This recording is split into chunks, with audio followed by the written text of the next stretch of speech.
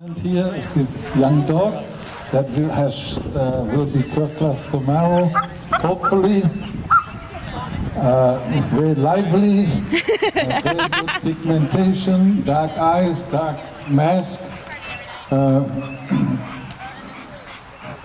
he has a high withers, firm back, croup is a little bit short, upper arm could be more slanted, good rear hand angulation, good chest proportions, steps correct, coming and going, and shows good movements. Congratulations, excellent.